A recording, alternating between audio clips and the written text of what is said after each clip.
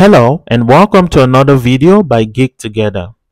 Today I'll be showing you how to configure CrowdSec for your Nginx proxy manager and protect or secure your web servers that are hosted behind your Nginx proxy manager.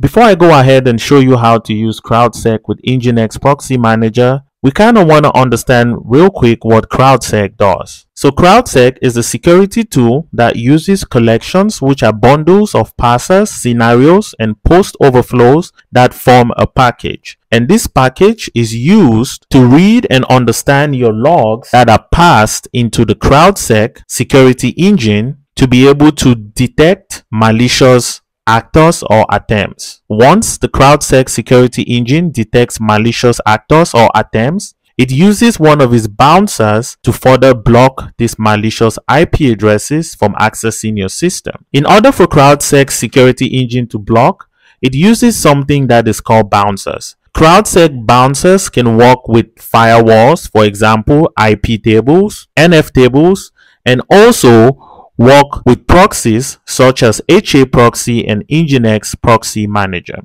So if you head over to the CrowdSec hub, you can find several bouncers that may work for your environment. For example, you have the caddy bouncer, you have the Traefik bouncer for the Traefik proxy, you have the AWS bouncer for those of you who use AWS, and you also have a bouncer for HAProxy. So if you search over in the CrowdSec hub for bouncers, CrowdSec does not currently have a bouncer for Nginx proxy manager.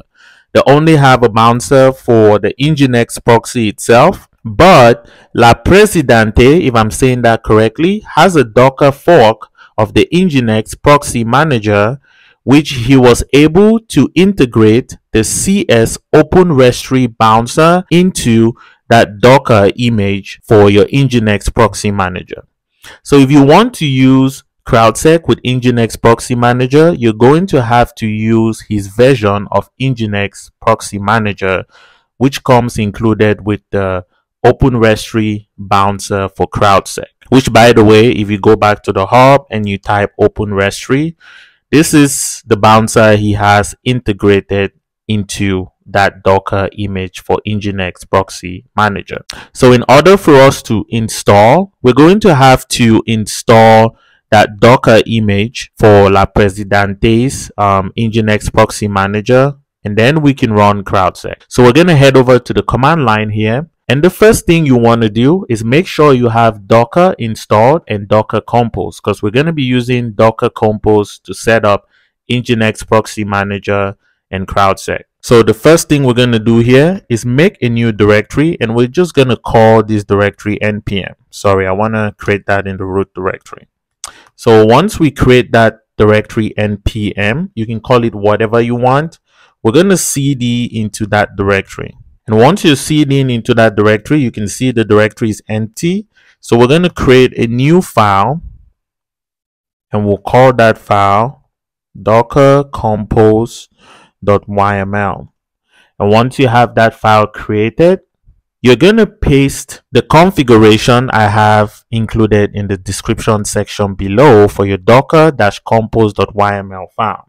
So once you have this pasted in here, you really don't have to change anything unless you change the directory that you want your Nginx proxy manager to be stored in, and that goes the same for your CrowdSec. But if you're following to this tutorial and want to do everything the same, then you don't have to change anything. So once that's done, we're going to save the file.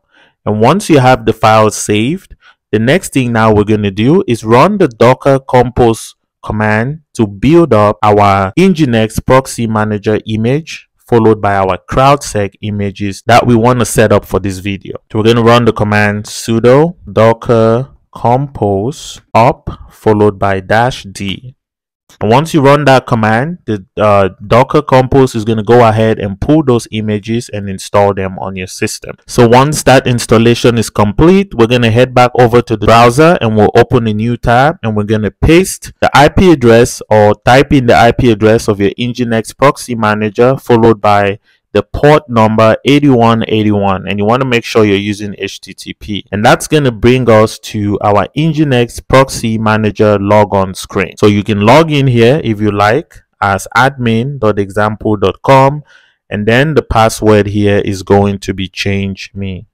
So once you log in, now you can see that we've successfully installed the Nginx Proxy Manager. So now that we know that Nginx Proxy Manager has been successfully installed, the next thing we're going to do is make sure that our CrowdSec image was also successfully installed. In order for us to do this, we're just going to run a basic CrowdSec command on our CrowdSec image. Because remember, we named our CrowdSec image CrowdSec. So we're going to use the docker exec command followed by a dash it and then the docker machine name, which is CrowdSec. And now we're going to run the CrowdSec command, which is a cscli command in order to be able to check if CrowdSec is running. So we're just going to do CSCLI metrics. And if we run that, we can see that our CrowdSec is installed and is up and running. If you get any error messages or you don't get something similar to this, it means your CrowdSec was not installed successfully. But if you got this, it means we are good to go. The next thing we want to do is now create a bouncer or add our Nginx proxy into the list of our bouncers for CrowdSec. So we're going to have to create an API key for the bouncer, which is Nginx proxy to be able to perform its duties as the bouncer. It needs uh, an API key.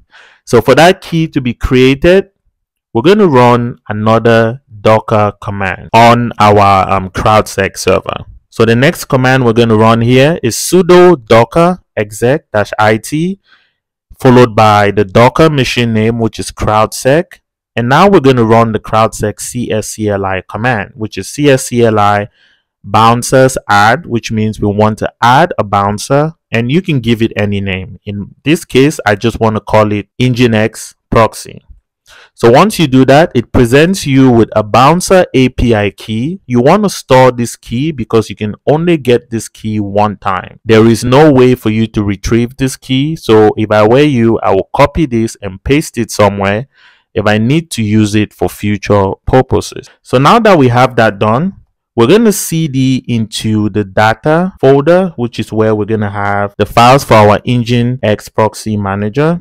So we'll cd into that Nginx proxy manager. And once we do that, you want to cd into the CrowdSec directory. So CrowdSec, and in here, you're going to find two files. One is a regular file, text file, or configuration file, and the other one is a template directory. For now, we're just going to focus on the configuration file. So we're going to open this configuration file using nano. And now that we have the file open, we want to include our API URL, which is going to be the IP address of our CrowdSec Docker machine. So if you don't remember the IP address of your CrowdSec Docker machine, we're just going to exit this. And all you need to do is open our docker-compose.yml file. So as we can see in here, the IP address we assigned to our CrowdSec image was 172.20.0.6. So I'm going to copy this and notice our CrowdSec machine is using the port 8080 for its API. So we're going to go back, open up that file. And for the API URL, you want to type HTTP followed by the IP address followed by the port 8080. And for the API key, we're going to paste in the API key that we created earlier.